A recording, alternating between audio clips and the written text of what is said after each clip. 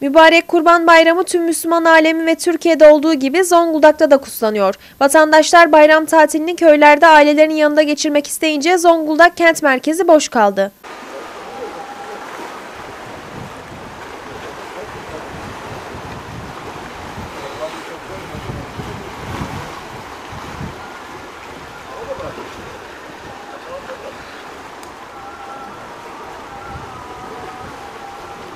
Kurban Bayramı'nın 3. gününde Salih Bandı ve şehrin en işlek caddesi olan Gazi Paşa'da eski yoğunluk görünmedi. Bayram tatili merkezde durgun geçerken bazı ilçeler ve beldelerde konser, turnuva, festival gibi etkinlikler düzenleyince bayram coşkusu şeklinde geçti. Ee, Bu Kurban Bayramı'nın e, bütün İslam alemine hayırlı uğurlu olmasını diliyorum. Ee, Öncelikle ülkemizin e, bu sene çok badireler atlattı. Bir daha yaşanmasını istiyorum. Ee, Hayırlı uğurlu olsun diyorum. Herkese selam sevgiler. Eskisine göre tadı e, eskisi gibi değil tabii. Artık e, eskiyi arıyoruz. Ama yine de e, bir nebze olsun e, bayram bayram e, gibi oluyor. Güzel yani. Şehir dışına çıkamadım. Çalıştığımdan dolayı fırsatını bulamadım.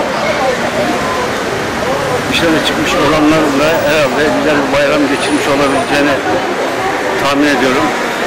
Buradan tüm akrabalarıma, çocuklarıma, uzaktaki yakınlarıma, buradaki komşularıma, arkadaşlarıma iyi bayramlar diliyorum.